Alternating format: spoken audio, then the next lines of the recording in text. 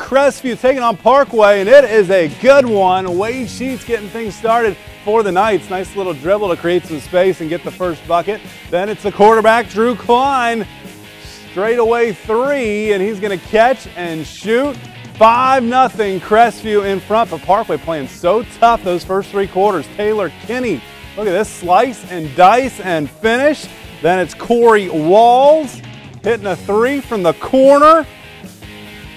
How about Jack Wee spinning and winning? Parkway would lead after three, but Crestview comes back and they win this one 55 48, 17 points, 9 rebounds for Javen Etzler in the victory.